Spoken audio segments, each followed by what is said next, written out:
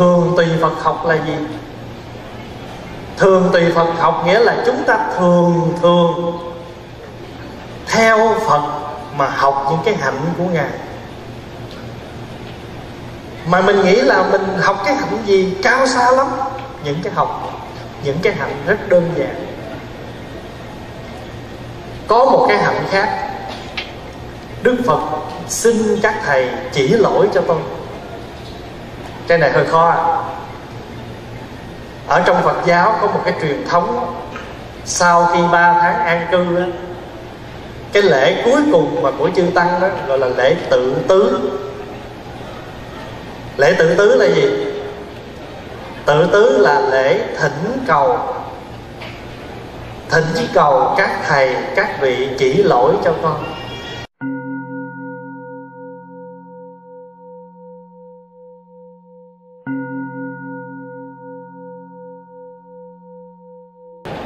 Nam mô Bổn sư Thích Ca Mâu Ni Phật.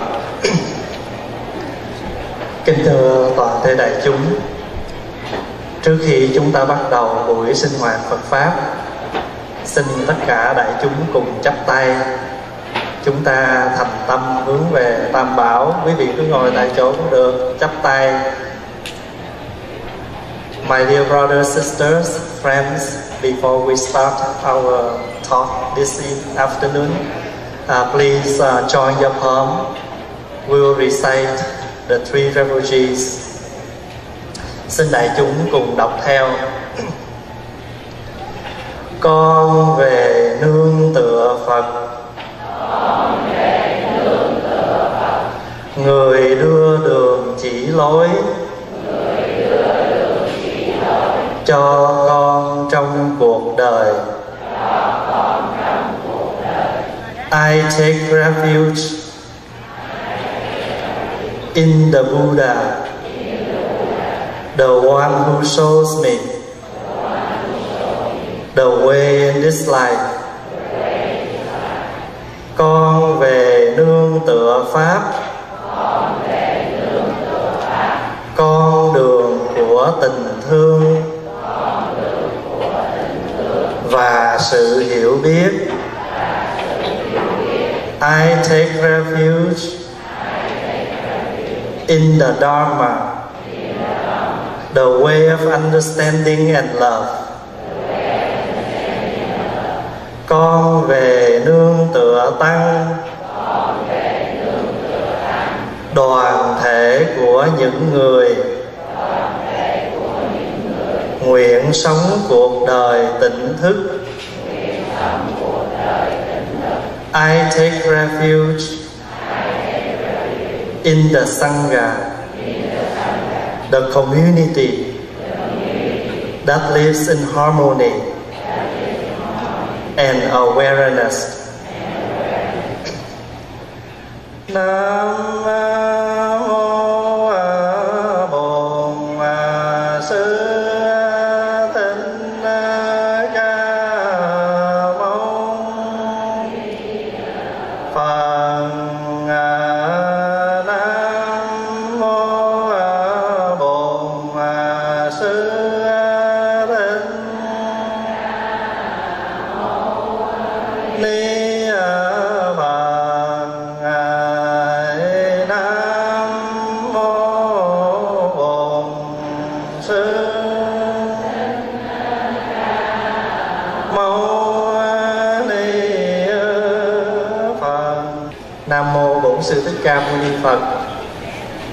cung kính bái bạch hiện tiền chư tôn đức tăng ni.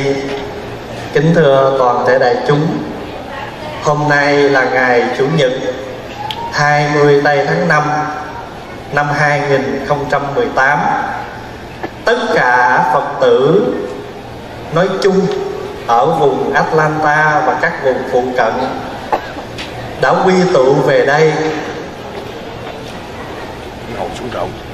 để cùng nhau cử hành đại lễ Phật đản 2642 Quý vị sẽ phát sinh Ủa tại sao nói Phật lịch 2542 Mà bây giờ nói là 2642 2562 là Phật lịch.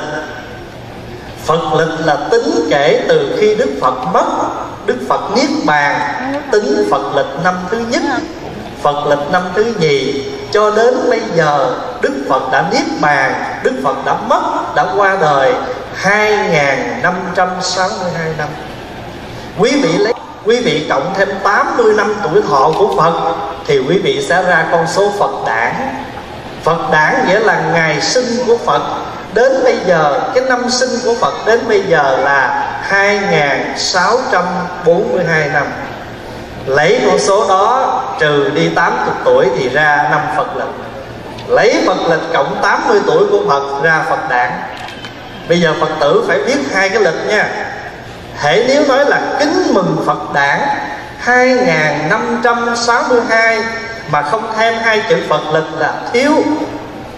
Phải nói là kính mừng Phật đản, Phật lịch 2562 mới đủ còn nếu mà nói là kính mình Phật đản không có hai chữ Phật lịch thì phải nói 2642 vì chúng Đức Phật sanh năm 624 trước Tây lịch. Và Đức Phật Niết Bàn năm 544 trước Tây lịch.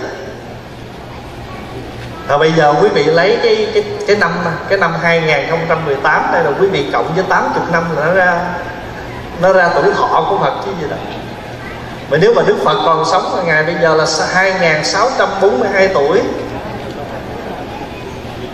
Chút xíu nữa đây tất cả Phật tử tại gia chúng ta sẽ chứng kiến bảy chúng đệ tử của Đức Phật.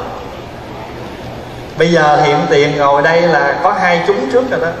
Chúng cư sĩ nam, chúng cư sĩ nữ. Rồi năm chúng khác sẽ lần lượt đi vào đây đúng cái giờ hành lễ. Tỳ kheo là chư tăng quý thầy. Tỳ kheo ni là quý sư cô đã thọ giới tỳ kheo ni. Thức xoa là các vị nữ tu mới xuất gia được 2 năm, 3 năm và thọ một cái giới trước khi thọ tỳ kheo gọi là thức xoa. Sa di là các vị mới tu thọ 10 giới bên nam. Sa di ni là các vị mới tu thọ giới bên nữ. Năm chúng này cộng với hai chúng cư sĩ nam cư sĩ nữ tổng cộng là bảy chúng. Cho nên đức phật đi bảy đó hoa sen. Quý vị tới chùa nào cũng thấy vườn lâm thì đi bảy đó hoa sen. Và mình sẽ thắc mắc tại sao không là 8, 9, 10 mà là 7 Con số 7 nó mang nhiều ý nghĩa lắm. Nhưng mà Pháp Hòa nói một nghĩa trước thôi. Đó là bảy chúng đệ tử của Phật. Quý vị nhớ chưa? Tỳ kheo, tỳ kheo ni Thức xoa, sa di, sa di ni Cư sĩ nam và cư sĩ nữ. Đó là bảy chúng đệ tử. Còn nếu mà gom lại còn bốn chúng thôi. Cư sĩ nam cư sĩ nữ tỳ kheo tỳ kheo ni. Tại vì các vị sa di sa di ni thức xoa chỉ mới xuất gia chứ chưa chính thức dự vào hàng ngũ của tăng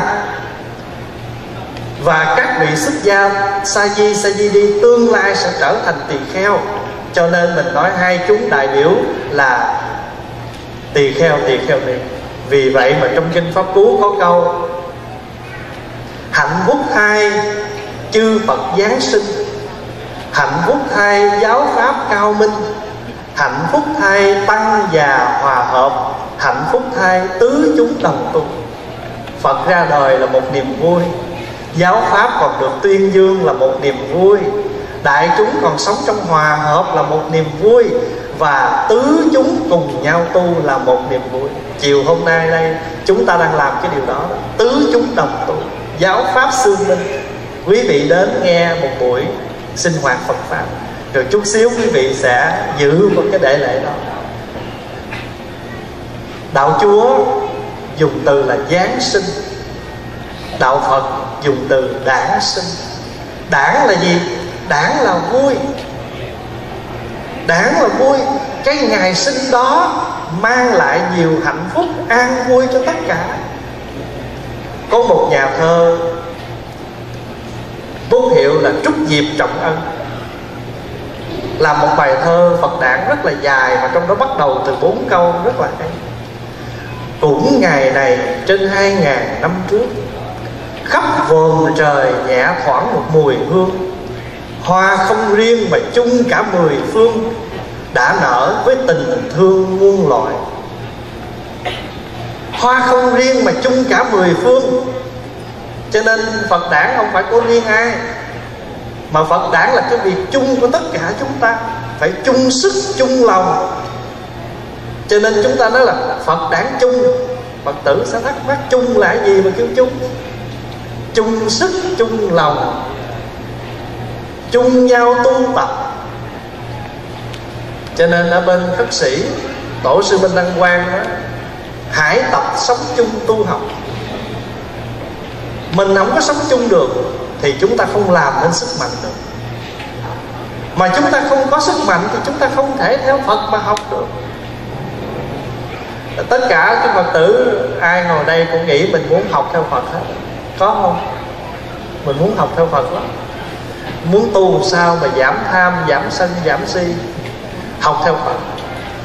Nhưng mà bây giờ trước khi mình làm việc lớn, làm phật thôi, mình làm việc nhỏ trước đi. Mà làm việc nhỏ của mình là gì? Làm những cái công việc rất bình thường trong cuộc sống hàng ngày.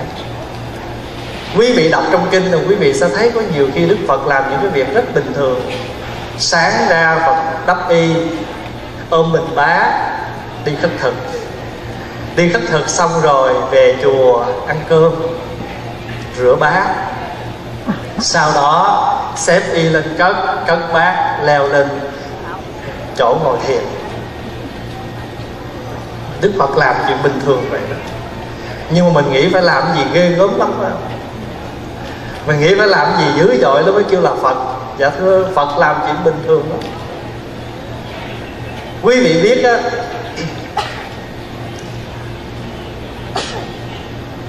có một hôm á đức phật à, đến một cái ngôi chùa. Thì đức phật thấy sân chùa dơ không ai quét. Thì phật mới cầm cây chổi phật quét sân. Thì các thầy mới đi ra nói bạch đức thế tôn xin đức thế tôn đừng có làm vậy tại vì ngài là thầy của tụi con bây giờ quét nhà để người ta vô ta cười chết nên tụi con ở bê bối quá, đến độ là làm cho ông thầy phải đi quét nhà. Đức phật mới nói, tôi không có từ nan một cái công việc gì mà chúng ta sống mà chúng ta không làm để có được cái phước. Mỗi ngày chúng ta ngồi thiền, tụng kinh, niệm phật, trì chú, cái đó gọi là chánh hạnh. Quý vị nhớ cái giờ mình tu mỗi ngày để mình chọn cái giờ đó gọi là chánh hạnh. Còn cái chuyện làm công đức mỗi ngày là trợ hạnh. Thì đức phật mới cầm chổi, đức phật quét nhà mà đức phật còn khi mà các thầy ra thì đức phật nói, các thầy ngồi lại đây. Tôi nói năm cái công đức quét nhà cho các thầy nghe. Năm công đức quét nhà là một là tự tâm mình thanh tịnh. Hai là làm cho người khác thanh tịnh ba là chư thiên hoan hỷ, bốn là tạo được chánh nghiệp, năm là sau khi mất sanh lên cõi lành. Khi mình quét nhà sạch á, tự nhiên người ta thấy, người ta bước vô chỗ nào, người ta thấy mát mắt, nói theo tiếng việt, mát mắt. Việt nam mình nói nhà sạch thì mát, mà bát sạch thì ngon cơm. Cho nên nhà phải sạch, trước khi làm cái gì phải sạch sẽ, chứ còn dơ cái tự nhiên người ta thấy mình thiếu cái sự ân cần với khách. Cho nên lúc nào cũng quét dọn nhà cửa cho sạch chùa chiền cho sạch. Mà quét nhà là một pháp tu. Thưa đại chúng quét nhà là một pháp tu. Đức Phật nói mà có nhiều khi chúng ta làm không có công đức là tại vì chúng ta không biết chỗ nào nên quét. Ví dụ như quét ngược bụi. À, xin lỗi quét ngược gió. Gió đang thổi vậy cái quét mà làm cho bụi nó bay thì cũng không được đụng đâu tóc đó. Cho nên ngày xưa các vị mới vào tu là khi quét nhà không được đụng đâu tóc đó. Quy định mình quét xong là phải hốt rác chứ không được tóc bậy vô những cái góc nào đó. Bởi vì nó nói lên được cái chánh hạnh của người tu cho nên thưa đại chúng mình tu tập mỗi ngày là chánh hạnh. Nhưng mà chúng ta làm những cái việc lặt vặt trong đời sống, đó là trợ hạnh vì vậy mà nhà chùa thường có cái chương trình làm công quả. Nhà chùa có chương trình làm công quả để các phật tử của chùa làm công quả để trợ hạnh. Trợ hạnh là gì? Là cái hạnh là cái việc làm để nó trợ duyên nó góp sức cho cái chánh hạnh mình tu dễ dàng phó Hòa ví dụ vậy nè. Mình sống chung một chùa với nhau Mà tối ngày mình có lo tụng kinh không à? Không có quét nhà, không có rửa chén Mà người khác quét nhà rửa chén rồi từ từ họ cũng phát bực. Họ nói cái ông đó, cái thầy đó tu mà sao lười quá, tôi làm hết, ông không có làm. Mà nếu như mình có phụ, mình rửa chén quét nhà thì tự nhiên sao? Dung hòa với nhau. Mỗi người có, ai cũng có góp phần. Tự nhiên cái ngôi chùa đó nó yên ra, không có ai sanh nạnh với nhau bởi vì chúng ta còn tu là con người phạm mà nhiều khi không hiểu được cái tâm ý, không có hiểu được hoàn cảnh của nhau, cũng có thể trách móc nhau.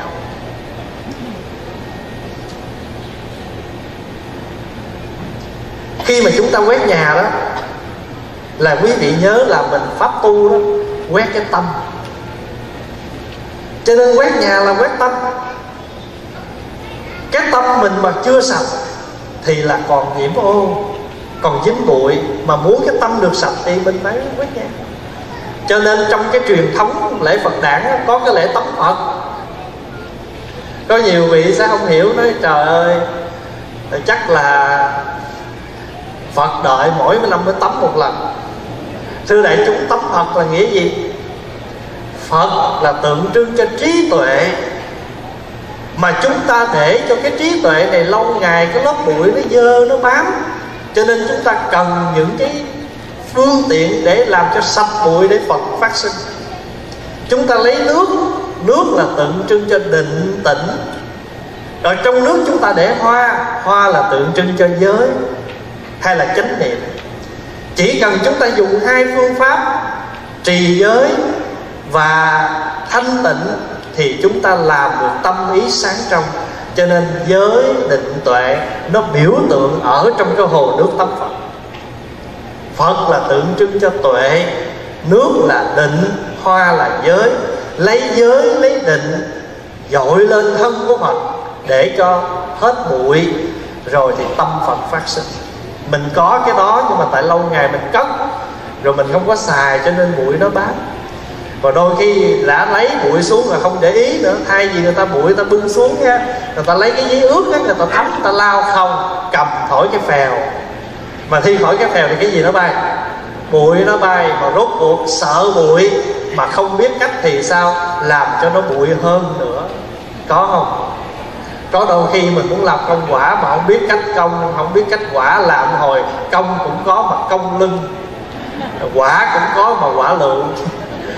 Cho nên mình cách làm công quả, làm như thế nào mà cho đại chúng vui vẻ, thoải mái, hạnh phúc. Đó là hình thức bát nhà có đôi khi mình làm mà mình chưa biết mình càng làm càng ra bụi cũng giống như hồi nãy có bà nói vậy đó. Ví dụ như quý vị có cái hoa giả nha, ai mà có hoa giả đó, mà lâu ngày bụi nó bám á, chúng ta không có thể cầm xuống vũ vũ như vậy cho nó sạch được. Giờ muốn muốn hết cái bụi hoa giả phải làm sao? Một là mình quậy tháo xà phòng nhúng cái hoa đó vô cho nó ướt cái đã. Rồi chỉ cần quậy nó ở trong nước thôi, vì nó nhờ có nước bụi nó không bay ở đây có ai hồi nhỏ Việt Nam mà quý vị nhớ người ta quét nhà, quét lộ ngoài sân không? Muốn cho bớt bụi trước khi quét phải làm gì? Lấy nước, rải nó. Lấy nước rải nó xong rồi nước nó có quện nó trong bụi á, mình quét nó mới đỡ bụi. Cũng như thế. Mình tu là phải có công thức. Không có công thức á, càng tu càng thức. Tại tức quá thức chứ không có gì rồi càng tu càng công công lưng ngủ không được. Thức trắng đêm hỏi sao vậy? Tức qua thức ngủ. Ta kêu tỉnh thức mà mình tu mình không biết cách thì càng tu càng cũng tỉnh và cũng thức mà tỉnh để giận. Giận quá, thức chứ không có gì hết. Cho nên coi chừng chữ tỉnh thức nha. Có nhiều khi nó, tôi đang tu á nha, tôi tu tỉnh thức á. Hỏi, tại sao thức hoài dạ dạ tôi đúng nghĩa chữ tỉnh thức. Giận quá, tỉnh nghĩ tới người đó tức cũng được. Cho nên mình tu mình phải có công thức, quét nhà phải có công thức. Cây chổi người ta làm đó người ta làm cây chổi nó không có bằng mà nó có cái mũi nhọn. Để chi? Để mình đưa cái mũi nó vô những cái góc cạnh để mình đưa cái bụi nó ra ngoài. Còn nếu như mà nó bụi quá đó, cho nó miếng nước rồi hãy chùi nó, chứ đừng cầm mà vẫy đi, thì nó không hết bụi mà nó càng thêm bụi có nhiều khi á, mình muốn làm cho sự việc nó tốt mà mình nói hồi thành ra nó xấu, tại vì mình không biết cách nói. Như vậy thì thưa đại chúng, ngài thần tú dạy chúng ta, thân là đài, thân là thân là cây bồ đề mà tâm là đài gương sáng. Nhớ thường xuyên quét bụi, đừng để nó dính bụi. Quý vị nghiệm coi ngài thần tú dạy đúng không? Mình chưa có khả năng tu tới ngày huệ năng đâu ngài huệ năng dạy là xưa nay không dính bụi, cần gì phải lau chùi. Chúng ta không phải là xưa nay không dính bụi, mà chúng ta là những người xưa nay quá trời bụi, cần phải thường lau chùi. Cho nên ngài thần tú dạy mình đó thân là cây bồ đề, nghĩa là chúng ta phải giữ thân cho tốt. Vì vậy mà thọ giới thứ năm thọ giới thứ năm để chi? Thọ giới thứ năm là để có chánh niệm ăn uống. Đừng có hút. Sắp rượu, chè xì ke ma túy, hại thân. Mà khi thân mà bệnh thì làm sao tu tập được? Làm sao làm việc tốt được? Làm việc thiện được? Cho nên muốn làm việc thiện, muốn làm việc tốt thì thân phải khỏe. Cho nên ngài nói thân là cây bồ đề. Ngài dạy chúng ta tu thân. Tâm là đài gương sáng. Bây giờ muốn tâm yên thì tu bốn giới trước sát sinh, trộm cắp, tà dâm, nói dối. Người nào mà nói dối, tâm bất an. Là làm việc không đúng, tâm bất an. Cho nên, giới thứ năm năm cái giới, bốn giới đầu là tu tâm. Giới thứ tư là, giới thứ năm là tu thân. Nhưng mà trong cái tu thân cũng có tu tâm, là tại vì nếu chúng ta ăn uống không chánh niệm thì thân này bệnh tật. Mà thân này bệnh tật thì tâm không thể nào mà yên ổn để mà sống vui được. Cho nên mình phải mình phải tu thân và tu tâm. Ở đây quý vị nào biết đó là chư vị hòa thượng tôn đức khi mà quý ngài viên tịch rồi, tức là qua đời đó, trước khi đưa linh cữu quý ngài đi an táng hay đi trà tỳ là hỏa thiêu đó, phải thỉnh một vị hòa thượng trưởng lão đến đứng trước quan tài cầm cái phất trần. Quý vị biết cây phất trần không? Cây phất trần mà ai coi phim tàu là mấy ông công công hay cầm á? Chút xíu mà nói chuyện công công. Thưa lại, chúng là cây phất trần đó là là cái, một trong những cái pháp khí của cái người xuất gia ngày xưa bên ấn độ. Phất trần là gì? Phất là phủi, trần là bụi cây cây đó các thầy tỳ kheo mỗi thầy phải có một cây để phủi ruồi phủi bụi. Rồi sau này cái cây đó, đó nó mới truyền sang tới trung hoa. Thì các vị tổ trung hoa mới dùng cái cây đó làm một cái pháp khí để trang nghiêm. Mỗi khi đăng đàn thuyết pháp thì các thầy đó có thị giả cầm cái phất trần đứng kế bên. Để chi? Để biểu tượng rằng giáo pháp của phật có khả năng làm cho chúng ta sạch cái bụi phiền não, hiển lộ được cái sự an lạc. Cho nên cầm cái phất trần đứng kế bên thầy thuyết pháp. Còn cái chuyện mà trong phim tàu mà quý vị thấy mấy ông công công mà cầm cái phất trần đó, nó không hề có trong truyền thống các vị công công ở trong triều. Đó là hình ảnh của phim phim ảnh tạo ra chứ thực chất ở công công ở trong triều, không có cầm cái cây đó. Nhưng mà tại vì cái tay mấy ổng nó không có gì cầm á, nó buồn quá phải không cho nên phim ảnh phải tạo ra cái cây đó, nói chuyện vơ tới vơ lui vậy nè. Chứ còn cây đó không có trong phim nha. Cái cây đó là pháp khí của người tu. Mà sau này các vị thấy quý hòa thượng hay cầm để mà chụp những tấm hình mà gọi là trang nghiêm pháp tướng và cái vị hòa thượng mà trưởng lão trước khi mà đưa cái vị hòa thượng đã tịch đó mất đi chôn, đi thiêu đó thì vị hòa thượng lớn nhất cầm cái phất trần, phủi phủi trước quan tài. Khai thị. Khai thị cho cái vị trưởng lão đó.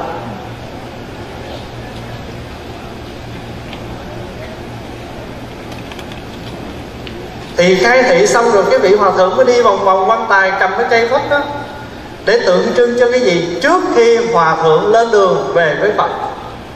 Chúng tôi một lần nữa xin bái biệt hòa thượng và xin phủi một lần cuối tất cả những cái bụi bặm phiền não, vi tế cuối cùng để hòa thượng trong sạch hòa thượng lên đường. Cái ý nghĩa nó vậy đó. Cho nên sau này các vị hòa thượng cầm cái phất trần nhưng mà ngày xưa ở bên việt, ở bên ấn độ cây phất đó đơn giản lắm. Cầm để phủi ruồi phủi bụi thôi. Như vậy thì đức thưa đại chúng chúng ta học được một bài học đơn giản của đức phật. Đừng đức phật làm cái gì? Đức phật quét nhà. Cho nên mình mà vô chùa đó, người ta nói, chị có rảnh không? Chị quét giùm em cái nhà. Tôi vậy mà đi quét nhà hả? Không có đâu. Ai cũng cần quét nhà hết. Người tu, người xuất gia, người tại gia, ai cũng cần quét nhà hết. Bởi vì chúng ta quét nhà là chúng ta quét cái bụi của tâm mình. Đức phật tắm rửa cho đệ tử có một thầy tỳ kheo bị bệnh. Có một thầy tỳ kheo bị bệnh thì đức phật đi ngang thì cái mùi hôi trong cái phòng đó nó bốc ra. Đức phật ghé vô coi trong này, cái phòng này có cái gì mà nó hôi dữ vậy? Thì khi ngài bước vô thì thấy một thầy đang nằm bệnh mà tiêu tiểu tại chỗ, rất là hôi hám. Thì đức phật mới hỏi, tại sao thầy bệnh mà không ai chăm sóc? Nói dạ các sư huynh bận rộn, bỏ đi hết trơn, không có ai chăm sóc không Đức Phật hỏi vậy chứ thường ngày thầy có chăm sóc người khác không? Nói dạ thường ngày con không có chăm sóc ai hết Đức Phật nói, vậy thì phải rồi. Thầy không chăm sóc người ta thì khi thầy bệnh, ai chăm sóc thầy lại? Cho nên thầy phải học cái hạnh chăm sóc người bệnh. Nghe ai bệnh, thầy phải chăm sóc. Và thưa đại chúng, trong tinh thần Bồ Tát giới, Một trong tám cái công đức của một vị Bồ Tát Thì trong đó có vấn đề thăm bệnh. Đi thăm bệnh để chi? Để an ủi Đi thăm bệnh để an ủi An ủi cái người bệnh để cho họ được nhẹ nhàng Quý vị có thấy uh, tượng Đức Phật bắt ấn không? Có khi Đức Phật bắt ấn này nè Có khi Đức Phật bắt ấn này nè Có khi Đức Phật đưa tay xuống đất nè Chạm đất nè Quý vị có thấy những cái tượng đó chưa? Quý vị có thấy những tượng đó không? Quý vị biết cái ấn này là ấn gì không? Ấn này gọi là ấn vô úy tức là ấn không có sợ. Bây giờ phong hòa sẽ thưa đại chúng mình sẽ ứng dụng cái ấn này trong cuộc sống nha. Quý vị đi vô thăm bệnh đó, trước khi ra về đó, mình nói với người bệnh bác yên tâm. Ở đây bác sĩ hay lắm. Họ sẽ lo cho bác khỏe mà. Mình nói vào cái tay mình vậy vậy cái ấn này là ấn gì? Ấn vô úy làm cho người khác không có sợ hãi. Tiếng mỹ, don't worry, you will be fine. Vậy thì cái ấn là ấn vô ý chứ nữa. Vậy thì phật tử mình sử dụng ấn được không? Sử dụng được hết. Thí dụ ta hỏi, ăn ngon không con? Dắt lầu. Hết chỗ chè đức phật cũng có những cái, như vậy, cái ấn trong phật giáo là tượng trưng cho cái gì? Biểu tượng xác định cái việc đó mình đi vô, mình đi vô thăm bệnh á, lấy cái tay của mình để dưới, lấy tay người bệnh để trên. Xong rồi thì mình lấy cái tay mình dò, bác khỏe không? Lúc này ăn uống được không? Tối ngủ được không? Bác ráng nha không có sao đâu. Mình nói mà mình vừa vậy nè ấn gì? Ấn địa xúc. Xúc chạm xúc chạm để làm cho người đó dịu xuống, yên xuống một đứa nhỏ nó ngủ, nó giật mình. Nó khóc ré lên. Mình đưa cái tay mình ra sao đó. Không, sao đâu con. Sao đâu con. Yên ấn xúc chạm, ấn địa xúc. Vừa là địa xúc mà vừa là vô ý. Có mẹ đây nè, có cô đây, có gì đây, con đừng có lo. Người nào mà ho quá trời quá đất, mình đưa cái tay vô chém ho, chém ấn địa xúc nhưng mà nhớ xúc đúng chỗ nha. Sắp cũng đúng chỗ 911 á. Như vậy thì quý vị thấy là Đức Phật đi vào trong cuộc đời. Mà hàng ngày chúng ta sử dụng những ấn của Phật Những câu từ của Phật mà chúng ta không hề biết. Mà chúng ta nghĩ rằng làm một cái gì ghê gớm lắm mới làm Phật. Đức Phật nói một câu đơn giản khi Ngài sinh ra Trên trời, dưới đất chỉ có mình ta là duy nhất. Chữ ta đó là gì? Đó là sự an lạc, sự tự tại của mình. Chữ ngã đó không có nghĩa là tôi. Đức phật tự xưng, tự hào. Mà chữ ngã đó là gì? Sự tự tại của một con người sống trong đời này. Trên đời, dưới đất, tôi là duy nhất. Chữ tôi đó, chữ ta đó là cái sự tự tại của mình đức phật tắm rửa cho một thầy tỳ kheo thế thì chúng ta trong cuộc đời này có chăm sóc ai cũng là chuyện rất bình thường và rất phật. Rất phật. Đừng có nghĩ là không mới làm phật. Thật sự làm những việc đó trong cuộc sống là mình thành đạo đó. Thành đạo là gì? Mình thành tựu được cái đời sống của một con người. Sống trên đời sống cần có một tấm lòng để làm gì? Em biết không? Để gì? Để gió cuốn trôi đi. Gió cuốn trôi đi là gì? Mọi việc nhẹ nhàng như vậy đó. Chúng ta gặp chuyện thì chúng ta giải quyết, nhưng mà xong rồi tự tại an nhàn. Đức phật tắm cho một thầy tự nhàn đức phật xỏ kim cho một thầy, đức phật xỏ kim may áo cho một thầy tỳ kheo đó là ngài a na luật. Ngài a na luật là thưa đại chúng đại chúng mà nào mà học về lịch sử của các vị thánh tăng đệ tử phật là đại chúng sẽ nhớ là ngài a na luật bị mù, không thấy được. Cho nên áo quần ngài a na luật rách, mà ngài a na luật không thấy đường để vá áo. Ngài a nan tới thăm, thấy sư huynh của mình rách áo mà mù mắt cho nên ngạ nan hứa, ngày mai em sẽ đến đây để vá áo cho sư huynh. Thì quý vị biết là khi mà các thầy đi ra như vậy đó, thầy a nan sắp kim chỉ đi. Các thầy khác nghe như vậy chạy theo. Đức phật nghe ồn ào, đức phật hỏi các thầy đi đâu? Ngạ nan biến quá nói dạ con đi may áo cho sư huynh a nan luật tại vì sư huynh bị không thấy đường mà áo rách hết trơn mà con đi đến con may áo cho cho ngạ ra luôn đức phật nói, tại sao các thầy không rủ tôi đi chứ cái nói dạ đâu có dám, chuyện này chuyện nhỏ quá, con không dám làm. Đức phật nói, không có sao, nhỏ mà có vỏ đức phật nói, các thầy phải cho tôi đi với.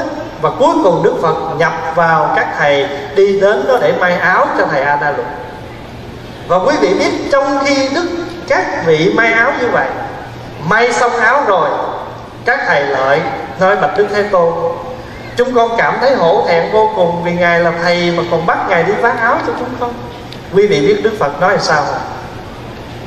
người tu ở trên đời này, chúng ta không nên từ chối lúc nào có phước để chúng ta làm.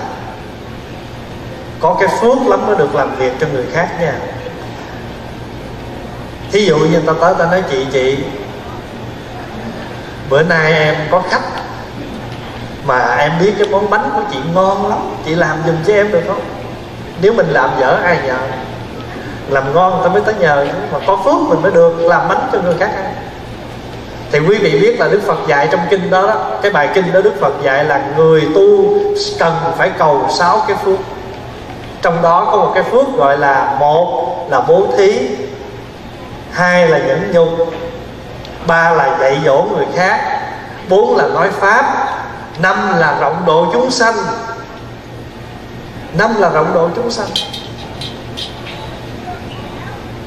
Và cái thứ sáu là gì? Cái thứ sáu là luôn luôn làm cho người khác dễ chịu hạnh phúc qua cái hành động lời nói của mình có phước cho nên, thưa đại chúng, đừng nghĩ mình phải cho người ta tiền mới có phước. Nhiều khi đời sống hàng ngày của mình nói sao để cho người khác ta nghe ta dễ chịu thôi. Cũng là bố thí rồi, cũng là làm phước rồi. Như vậy thì thường tùy Phật học là gì? Thường tùy Phật học nghĩa là chúng ta thường thường theo Phật mà học những cái hạnh của Ngài mà mình nghĩ là mình học cái hạnh gì cao xa lắm. Những cái học những cái hạnh rất đơn giản. Có một cái hạnh khác. Đức phật xin các thầy chỉ lỗi cho tôi. Cái này hơi khó à. ở trong Phật giáo có một cái truyền thống sau khi ba tháng an cư đó, cái lễ cuối cùng mà của chư tăng đó gọi là lễ tự tứ lễ tự tứ là gì? Tự tứ là lễ thỉnh cầu. Thỉnh cầu các thầy, các vị chỉ lỗi cho con. Trong khi tu chung với nhau, con có thể mắc ba cái lỗi. Có thể quý vị thấy con làm lỗi. Có thể quý vị nghe con có lỗi. Và có thể quý vị nghi con có lỗi. Ba trường hợp nha. Thấy, nghe nghi. Cho nên đó, trong cái lễ tự tứ đó, là các thầy phải đối với nhau để xin sự chỉ dạy. Trước hết là hai thầy lớn nhất sắp sửa nhận tự tứ của đại chúng chư tỳ kheo chư tăng chư ni. Thì hai vị hòa thượng phải quỳ với nhau xin với nhau chỉ lỗi trước. Rồi sau đó hai vị này sẽ lên bàn ngồi rồi mình nó trẻ đó, mình tới mình quỳ ở dưới, mình xin. Nói, bạch đại đức nhất tâm niệm. Hôm nay chúng tăng tự tứ, con tỳ kheo, gì đó, cũng xin tự tứ. Nếu thấy con có lỗi, được nghe, được nghi, được thấy, nguyện đại đức thương tưởng chỉ giáo, con sẽ như pháp mà sám hối thì nếu mà mình có lỗi á, thì các thầy kia nói à thầy có lỗi này, lỗi kia đó. Xong thôi còn nếu không có lỗi, thì vị đó sẽ nói, thiện, tốt lắm tốt lắm rồi, thầy có lòng như vậy là tốt lắm. Thì mình nói là, con xin nghe, rồi lại xuống lui. Ba vị khác lên xin. Cái lễ đó là lễ tự tứ, nghĩa là xin cầu sự chỉ giáo. Bây giờ mình, bây giờ tu mà người ta chỉ lỗi cho mình chứ mình không nhận rồi mình kiếm cách mình đổ lỗi trở lại. Mình nói, chị có hơn gì tôi? Anh có hơn gì tôi và thậm chí mình câu có, quậu, quọ, hoặc là mình để bụng. Cái lỗi của người đó mình nói, được rồi, để đó, bữa khác tôi tính. Cho nên, thưa đại chúng, tự tứ nghĩa là xin cầu sự chỉ lỗi. Đó là một hành tu. Pháp Hòa nói như vậy nè. Chúng ta cũng làm cái điều này hà rầm. Nhưng mà chúng ta thường làm á, Để mà lấy lòng. Làm cho có lệ mà chúng ta có thể chưa hết lòng, Hoặc là nếu lỡ ai mà thật sự chỉ, Mình không tiếp nhận. Bạn tới nhà chơi, trước khi đi về, Chúng ta nói, Anh ở nhà tôi cả hai tuần lễ nay. Nếu vợ chồng tôi, gia đình tôi có sự tiếp đãi không chu đáo, xin anh chị hỷ xả bỏ qua. Có nói câu đó. Ờ đó bất cứ cái lễ nào trước khi xong chúng ta cũng nói vậy hết á. Nơi à, trong khi tổ chức đại lễ, mặc dù ban tổ chức đã cố gắng hết sức, nhưng không thể nào tránh được sự sơ sót. Xin quý vị lượng thứ cho, mà chúng ta thường dùng cái từ là xin quý vị bỏ quá cho. Quá là gì? Quá là lỗi. Bỏ quá nghĩa là bỏ lỗi cho lúc nào lễ cũng nói câu đó mà bạn bè tới nhà chơi nói câu đó. Vậy mà ai chỉ cho mình lỗi mình không vui. Nói thôi. Nói thôi. Như vậy thì thưa đại chúng là hàng ngày chúng ta có lễ tự tứ chưa? Có rồi. Cuộc sống của chúng ta mỗi ngày là chúng ta học cách cách tự tứ của đạo phật rồi. Nhưng mà mình chỉ làm thôi mà ai chỉ thiệt là không nhận à. Thí dụ ta nói à, mà trước khi mình nói, mình phải bắt đầu bào chữa nha. Tại vì hôm nay tôi bệnh á. Tôi làm cái này không đúng, tôi làm cái kia không đúng nhưng mình lúc nào mình cũng có cái tại cái gì đó trong đó để cho chúng ta thấy rằng cái điều đó nó không phải lỗi của mình. Thì hôm nay, Pháp Hòa muốn đưa đại chúng là khi chúng ta tưởng nhớ Đức Phật, Chúng ta làm lễ Phật đản Nghĩa là chúng ta mừng Ngày Đức Phật có mặt ở trong đời này. Nhưng mà theo đúng truyền thống, Chúng ta làm ba lễ là Thứ nhất là lễ Đức Phật đản sinh. Thứ hai là lễ Đức Phật thành đạo. Thứ ba là lễ Đức Phật Niết Bàn, Chứ không phải chỉ có lễ Phật đản. Chúng ta làm ba cái lễ chung ngày hôm nay. Đản sinh, thành đạo, niết bàn. Bây giờ nói một cách khác. Chúng ta hãy cùng nhau ghi nhớ và nhắc nhở mình chúng ta đã có mặt trong cuộc đời này, thì chúng ta phải sống trong cuộc đời này để rồi chúng ta chết trong cuộc đời này. Ai cũng sanh rồi sống. Nhưng chúng ta sanh như thế nào, sống như thế nào, chết như thế nào để gọi là một ngày hoan hỷ? Thật sự chết mà chết vui cũng quan điểm thí dụ như người thân mình mà chết mà bản sanh cực lạ, chết thì có những cái điềm lành mình mừng chứ như vậy thì, thưa đại chúng, ai cũng có một lần chết hết ai cũng có một lần chết đó. nhưng mà mình chết xong rồi, mình sống mãi trong người khác. Như vậy thì cái chết nó đâu có thật chết đâu. Mình chết cái thân xác này thì ai cũng một lần sẽ chết. Nhưng mà có, nhưng mà rồi chúng ta sẽ sống mãi trong tim của người khác. Thì đức phật đã sống được như vậy. Là một người thầy nhưng không từ chối làm những công việc rất đơn giản của cuộc sống hàng ngày. Đó là tắm rửa cho đệ tử, cũng cần nếu con may vá giùm cho đệ tử. Rồi gì nữa? Thăm bệnh, chăm sóc người bệnh, quét nhà.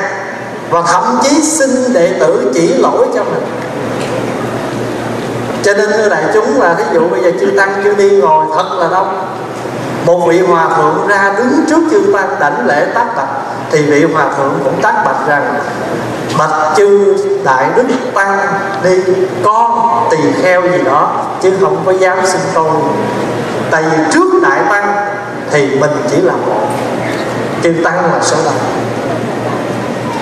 và các vị xuất gia học cái hành khiêm cung của Phật đứng trước chư tăng là một mực là con mà mình nói được cái chữ đó là gì? Đó là sự khiêm cung chỉ lỗi thưa đại chúng là khổng tử một hôm khổng tử đi ngang một cái gia, một cái người buôn bán. Thì cái ông tính tiền á, với cái người mua, cãi lộn với nhau về hai con số cái ông bán ông nói là 8 lần 3 24 ông tính tiền 24 thì cái ông mua, ông nói không, ông làm toán kiểu gì với 8 lần 4 lần 8 là 23 nghe. Binh cái ông bán và ông bán làm toán đúng. Thì cái ông mua, ông cãi lại, ông nói hai ông này không biết học ở đâu, làm toán kiểu gì? Người ta có 23 mình có 24 thì cái ông đệ tử, ngài khổng tử, ông mới nói rằng, thôi bây giờ á, tôi dẫn ông tới gặp của thầy tôi. Thầy tôi là cái người học rộng biết nhiều chuyện gì cũng biết hết. Tôi dẫn ông tới, xác định coi ai là đúng. Nhưng mà trước khi tới phải có một cái điêu, phải có một cái giá nếu tôi nói trần, thì ông tính sao? Thì cái ông ông bán ông mới nói, nếu mà ông nói, ông khổng tử, ông xử mà tôi sai đó, tôi chết tại chỗ trong coi tôi chặt cái đầu tôi xuống. Việt nam mình hay thèm kiểu đó lắm nha. Nói không đúng, chặt cái đầu tôi xuống. Rồi cái ông mà ông ông bán ông mua ông nói là nếu nếu mà khổng tử mà nói tôi đúng tôi sẽ chặt đầu tôi xuống. Còn nếu khổng tử mà xử ông với lại cái ông bán mà đúng á, thì ông tính sao? Thì cái ông nói rằng, cái ông đệ tử khổng tử nói, nếu mà ngài khổng tử mà xử tôi với ông kia mà đúng là tôi mất cái mạo quan từ quan tôi không làm nữa khi mà đi đến đó thì trình bày câu chuyện ra mới hỏi xác định là dạ thưa thầy. Bây giờ thầy nói cho tụi con nghe 8 lần 4 là nhiêu? Đó con nói là 23 đệ tử ngài với công ông bán nói 24 đó. Rồi tụi con cá với nhau đó, bây giờ hãy mà ngài nói con sai là con chết. Con chặt đầu con chết. Còn nếu mà ông, mà ngài nói đệ tử ngài đúng là ông mất quan. Cuối cùng ngài khổng tử nói, đệ tử tôi với ông bán sai ông đúng. Xử xong rồi, thì làm đệ tử mà phải nghe lời chứ. Mọi việc giải quyết xong đi về. Ông đệ tử tức với mình, ông nói, thầy thầy có lẫn lộn. Tại làm sao mà thầy nói là con làm toán sai? Ông nói, tôi nói ông nghe. Nếu như mà tôi xử cái ông kia mà sai, thì ông phải chặt cái đầu ông ông chết còn ông sai, bất quá ông mất cái mẫu quan thôi. Thì bây giờ ông suy nghĩ đi, một lấy mạng một người và mất một cái chức cái nào hơn? Quý vị thấy điều đó không? Cho nên trong cuộc sống của chúng ta, đôi khi chúng ta quên thường tùy phật học. Mà mặc dù chúng ta tụng cái câu này hà rầm, tám thường tu học đại thừa, câu kế là gì? Bao giờ bằng phật mới vừa lòng con? Cái câu đó mình tụng mà ngày trí tịnh ngày dịch mười cái hạnh của phổ hiền đó. Ngày trí tịnh dịch cái bài sáng nó rất hay. Trong đó có cái câu cái nguyện của ngài phổ hiền. Câu thứ 8 là tác giả thường tùy phật học. Thì ngài trí tịnh dịch là tám thường theo học đại thừa. Bao giờ bằng phật mới vừa lòng con? Chính thề chẳng dám mỏi mò, dắt nhiều muôn loại, đều tròn pháp như vậy thì chúng ta luôn luôn ai cũng muốn Phật học, và ai cũng muốn học Phật. Học Phật là học gì? Học làm Phật. Học làm Phật là học sao? Những chuyện rất đơn giản. Cho nên cái người tu của chúng ta không phải chúng ta thuyết kinh nói pháp giỏi, mà chúng ta phải thể hiện cái điều chúng ta sống trong cuộc sống hàng ngày rất là đơn giản. Ai bệnh thì mình chăm sóc, nghe bệnh thì mình đi thăm. Thăm không được thì phone thăm, nhiều cách để làm. Và thậm chí, người kia ăn mà mình biết người ta cần cái gì, mình đáp ứng mình làm tất cả cái gì trong khả năng của mình làm được, mà đừng có nghĩ rằng tôi vậy mà tôi làm việc đó à. Tôi như vậy mà tôi làm việc đó thì tôi mới gọi là cao thượng. Bây giờ có hoặc kể quý vị nghe câu chuyện nữa. Là có một ông vua, mỗi lần ông gặp quý thầy á, ông bước xuống xe, ông đảnh lễ. Thì các ông quan trong triều có nói bệ hạ là một cái người vua, một cái người cao thượng mà tại sao lại bước xuống xe lễ lại người khác tự hạ thấp mình như thế? Quý vị biết ông vua trả lời sao?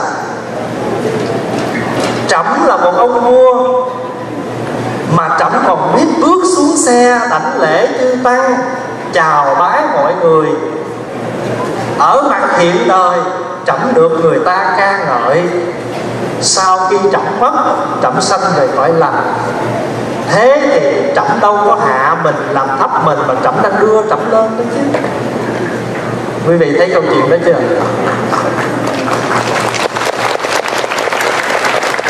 Như vậy, khi chúng ta chấp tay xá một người, không phải là chúng ta hạ mình trước người nào cả, mà chúng ta đang đưa cái đạo đức của mình lên tới cái chỗ cao là nhất giả lễ kính chư Phật.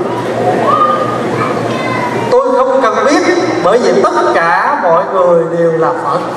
Còn anh đó là làm gì, chuyện đó tính sao?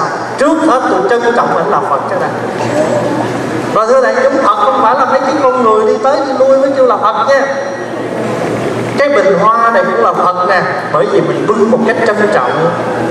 Cái chuông cũng là Phật, tại vì mình cầm cái dùi mình thỉnh trân trọng cái tọa cụ cũng là Phật, tại vì mình dùng nó một cách trân trọng. Khi mình cần ngồi đỡ đau lưng thì bày ra ngồi, hết xong lấy cái ra lấy cái chân đá để từ góc. Không nên. Ngồi xong rồi cầm cái tọa cụ bồ đoàn để vào cho ngay ngắn. Lúc mà mình cần cái ly á, uống vậy nè. Uống vừa xong bóp nát cái ly, giống như trần quốc toản rồi bóp nát trái cam cho đôi khi trong cuộc sống chúng ta có những cái việc rất là đơn giản mà chúng ta quên. Mà người ta chỉ cần nhìn cái cách sống đó, người ta thấy này có phật chất chưa? Cho nên quy y tam bảo để làm gì? Quy y tam bảo để nhắc nhở mình mình bây giờ là phật tử, phải có phật chất. Còn nếu mình chưa quy y thì mình sống trong thế gian phàm tình, thì cái chất phàm phu nó hiện lộ như người người đệ tử của ngài khổng tử vậy đó. Nhất định phải ăn thua cho đủ. Rồi còn đem quan bảo của mình ra để mà đo. Nhưng mà ngài khổng tử xử rất là hay. Tôi xử ông đúng thì người kia mất cái đầu. Tôi xử ông sai để người kia còn sống. Thà ông mất cái bảo quan, ông còn làm việc khác sống. Ông này ông chết rồi, ai nuôi vợ con ông? Hơn thua chi có một con số. Cho nên một cái người thầy á đem à, cái người đệ tử đem, hai chú tiểu gây lộn với nhau. 5 cộng 5 bằng 10 ông kia cãi 5 cộng 5 bằng 11 cãi nghĩa là tróc gốc đem vô người thầy. Thầy ông xử làm sao quý vị không? Cái ông mà nói đúng mà nằm xuống đánh tại sao không nói đúng mà thầy đánh con? Thầy không đánh con cái tội gì hết, mà thầy đánh con cái tội muốn, tội dại biết nó sai mà cứ cãi.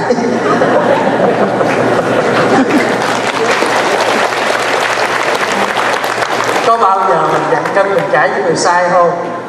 Có, cãi biết thôi. Cãi đến mòn cổ rồi sách lên thầy xử giùm. Giờ thầy xử sao?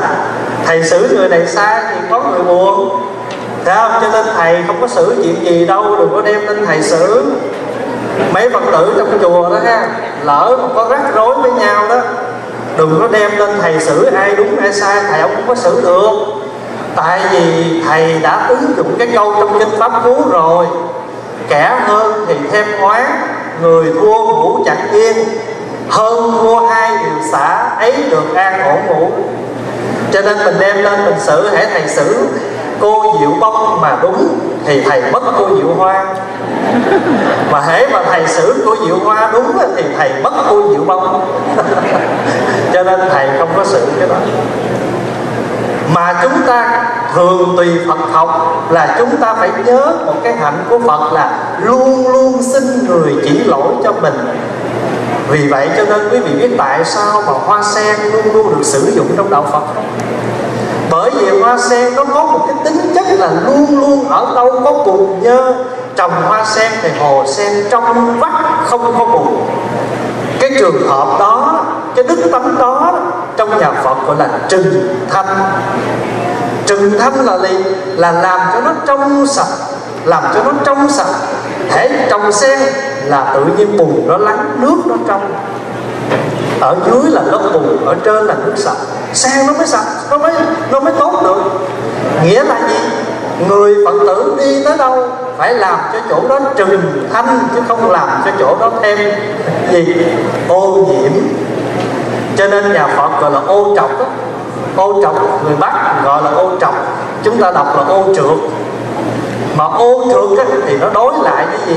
Thanh lương, mát mẻ cho nên mình là một phật tử là một hoa sen, đi tới đâu là phải làm chỗ đó trừng thanh tới đó, chớ không làm cho chỗ đó thêm ồn ào. Họ đang buồn nhau rồi, đừng nói nữa.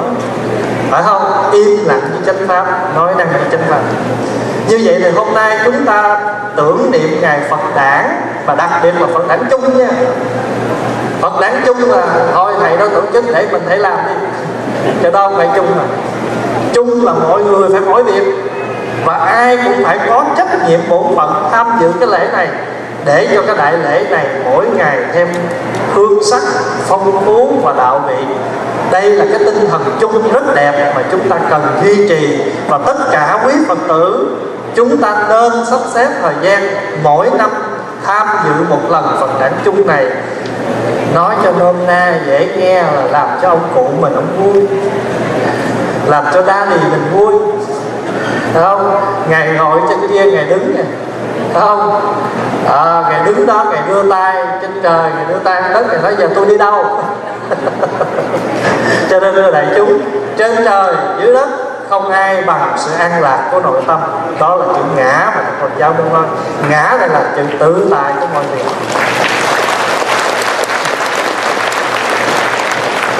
trước khi à, chúng ta chấm dứt, xin à, con xin được tri ân quý tôn đức tăng ni đã hộ niệm cho con trong cái buổi sinh hoạt này. Và xin cảm ơn đại chúng rất nhiều, đại chúng đã quy tụ thật đông đủ để cùng tham dự ngày đại lễ này. Con xin hát cái bài à, hoa bất diệt nói lên sự đản sinh của đức phật để cúng dường đại chúng.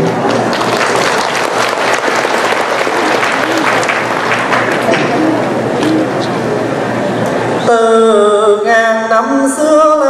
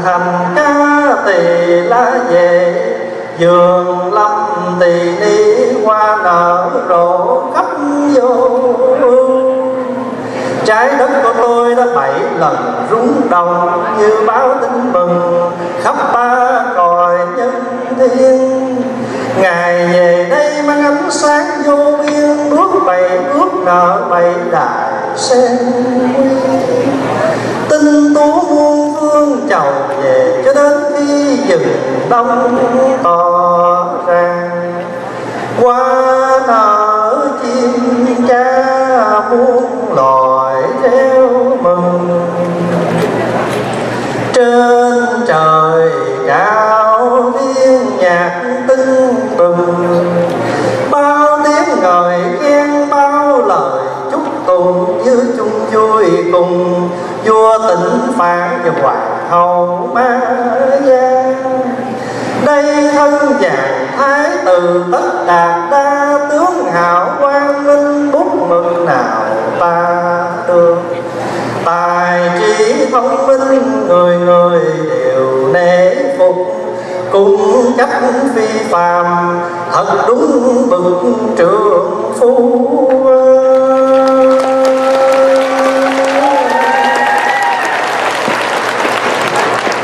Ngài làm sao vui phòng lo yên ấm ngoài kia chúng sanh lầm than, ngoài kia chúng sanh lầm than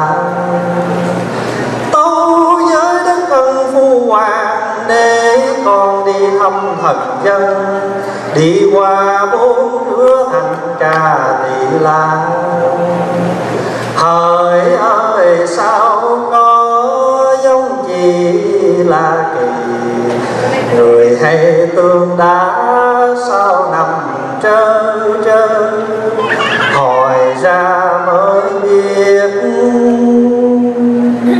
Ai rồi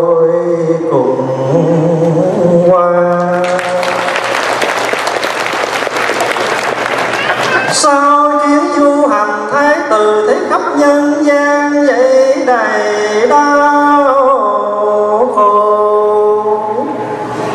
Thu lớn tranh mồi giết đàn thu nhỏ, chim lớn ăn sâu rắn, tìm hết nhai mình được yêu đua phiền trượt khắp muôn loài.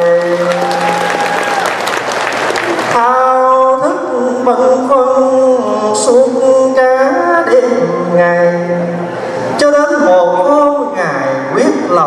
từ bỏ điện ngọc cung vàng vợ đẹp con xinh.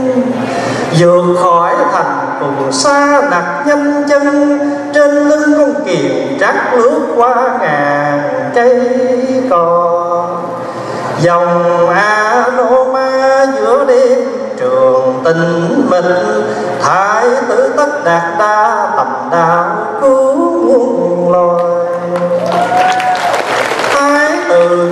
rằng, nếu đã xuất gia thì còn luyến tiếc làm chi râu tóc ngài đưa dao lên cắt tóc râu và nguyện đoạn, hết thay tạp chướng ưu phiền. Mặc áo trà xa thay cho y phục dương quyền, cùng tiên bạc và tu nữ khổ hành nhưng vẫn chưa thỏa lòng vì còn chướng mắt từ sanh. Ngài một mình đến núi tuyết tịnh tu, ngồi thiền định, quán nhân duyên sinh khởi điểm hơi thở vào ra giữ tròn chánh niệm, tầng khổ suốt sáu năm mà nịnh thân xác hao ngày nhận thấy rằng hành đối khác nào phải là mục tiêu đạt đạo phải ăn uống cho bình thường để khỏe mạnh thân tâm. Ngài cùng ba nang đà dân sửa cúng dường bát cháo du bi dưới cội bồ đề dựng thân thiền định, trí tuệ nở bừng sáng rực hào quang đã chín rồi chánh quả là đây. Văn phật thích ca đứng vẹn toàn giác ngộ. Đệ tử chúng con xin quay về nương tựa thắp sáng đèn tâm theo dấu Phật đà sen đã nở không lâm bùng tanh tươi tỏa hương thơm ngào ngạt đến ngàn sao qua bất diệt nở ngay giường xanh diệt, nguyện muôn loài sẽ thành phật tương lai. Bây giờ mình tập cho mấy em nhỏ nó hát một bài rất là đơn giản, I love Buddha thầy hát trước rồi mấy con hát theo sau nha đơn giản lắm. I love Buddha, I love Buddha. Yes, I do. Yes, I do. Buddha is my teacher. Buddha is my teacher. Teaching me to be free. I love Buddha. Yes, I do. Buddha is my teacher. Teaching me to be free. Only five sentences. Okay, let's sing together. I love Buddha, I love Buddha. Yes, I do. Yes, I do. Buddha is my teacher. Buddha is my teacher, teaching me to be free. I don't hear your voice. I won't finish. Okay, one more time. I love Buddha, I love Buddha. Yes, I do. Yes, I do. Buddha is my teacher. Buddha is my teacher, teaching me to be free. Buddha is my teacher, teaching me to be free. One more time, louder than my microphone. One, two, three. I love Buddha. I love Buddha. Yes, I do. Yes, I do. Buddha is my teacher, teaching me to be free. I love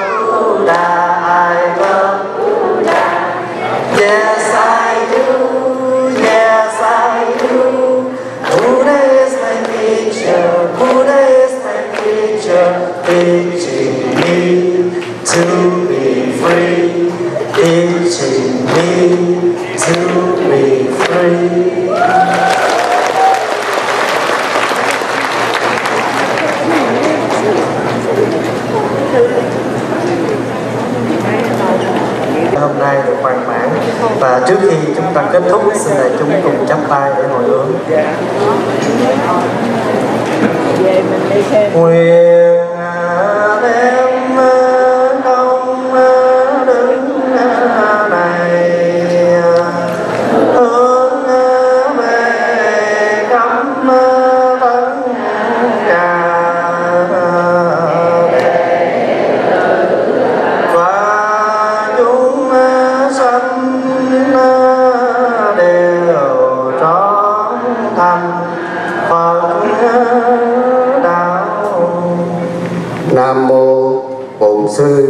Nam Mô ni phật.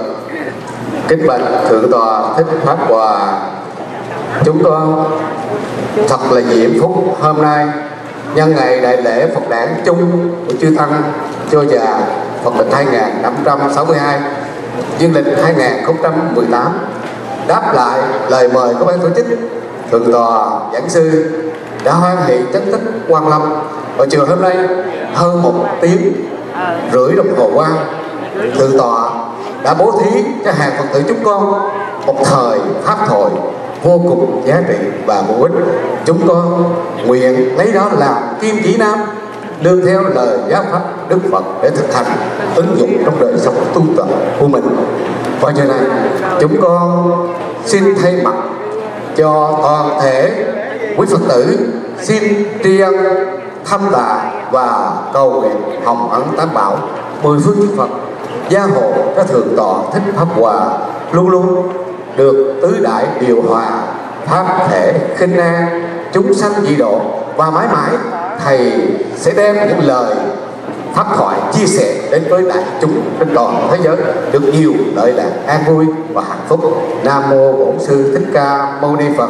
Và giờ này, chúng tôi kính mời trong ban nghi lễ quý phật tử đến trước thượng tọa giảng sư để cung thỉnh thượng tọa quản sư hồi quy phương trượng nam mô bổn sư thích ca mâu ni phật. Xin đại chúng hoan hỷ, khởi thân đứng lên để tiễn thượng tọa giảng sư về phương trượng nghỉ ngơi.